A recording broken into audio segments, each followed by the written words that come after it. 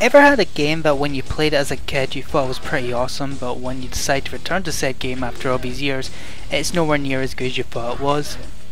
Yeah, this is one of those games. I honestly don't know what I was thinking back in the day that made me think so highly of 1080. I guess that was because being a kid with a Nintendo 64 wasn't easy back in the day. The games themselves were around 50 quid and the most I got for pocket money was £5 a week.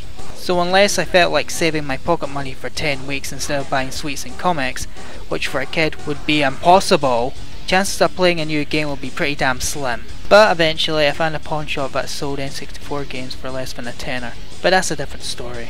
Bottom line, I had to make do with what I had and one of those games I had was 1080 snowboarding.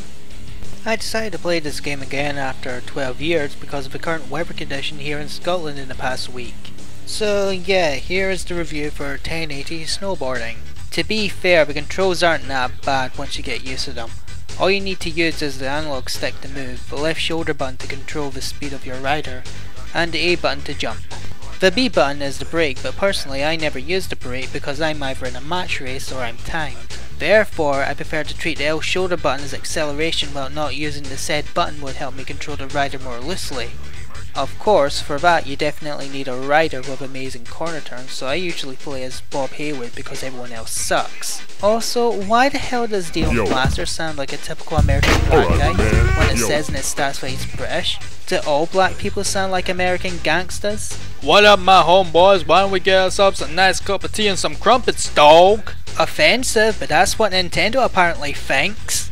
Aside from Match Race, you also have Time Attack, Trick Attack versus in a contest, which is a sort of mission mode where you would either perform tricks or move around flags to gain extra time.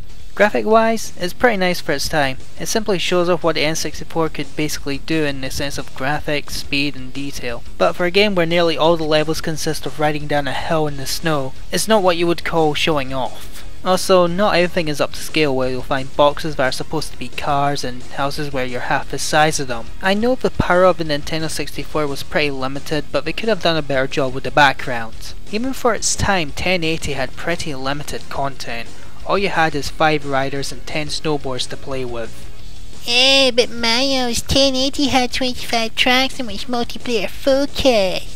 I'm sorry for calling this out and I honestly don't care when this game was made, I'm still calling bullshit on this.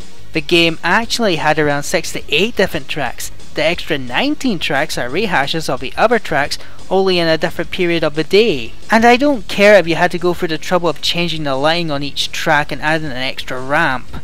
It still doesn't count. As for the multiplayer, I could never find anyone to play it with me. They would rather play a much better racing game like F-Zero X or Super Mario Kart 64 or Crash Bandicoot Racing. Actually, I take that back, that game sucked. Just because a game is multiplayer focused doesn't mean that it's good. It usually means that the single player will suffer greatly. That is all. And finally, for the music.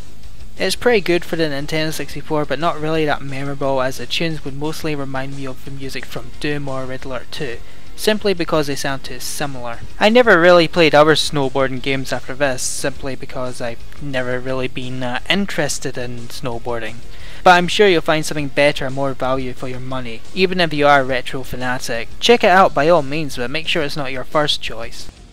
This has been my mental analysis and I'll see you next time.